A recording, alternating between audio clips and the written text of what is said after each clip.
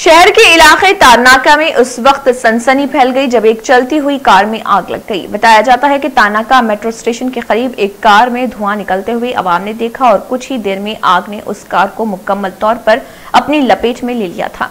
इस हादसे के बाद अवाम ने फायर कंट्रोल को इस सिलसिले में आगाह किया और कुछ ही देर में एक फायर इंजन, जाए हादसे पर पहुंचकर कार में लगी आग को बुझा दिया।